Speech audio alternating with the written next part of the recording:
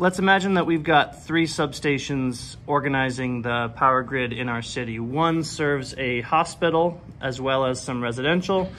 Um, another serves uh, a commercial district where like restaurants and shops, as well as a, a residential district, and one serves uh, an industrial district where they make they manufacture goods and uh, things like that. So when we have plenty of power, that is uh, when things are normal, we have 300 plus milliamps on this meter to work with. Um, so if I crank this generator, I can, uh, I see that all three substations turn on.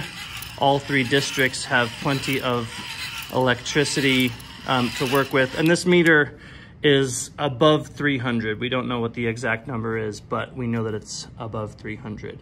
Now, when there's a storm, we know that supply is decreased. And let's say for the sake of argument here that um, we can't get more than 200 milliamps out of our generator during the storm. So you'll notice if I crank this so that it is around 200 milliamps, none of the districts turn on. And that's a problem because we don't have enough power to go around.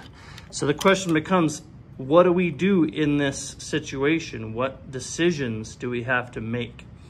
Um, one thing that we could try is using the substation switch to turn off the industrial region because during the storm we don't care as much about manufacturing goods. So if we crank this at around 200 milliamps, we're still not seeing the hospital and residential and commercial areas turn on. So we're still left with a choice between these two substations? Do we deliver power to the hospital and the residential area, or do, do we do we deliver power to the commercial district and the residential area? Um, we could try turning one of them off, and again generating power around 200 milliamps.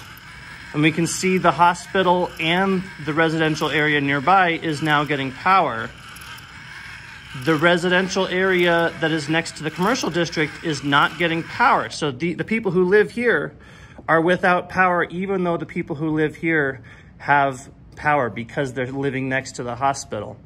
Um, and if we had more power to go around, that is like if the storm supply was greater, then we wouldn't have to make this tough choice. We could, for example, deliver power to both of these districts.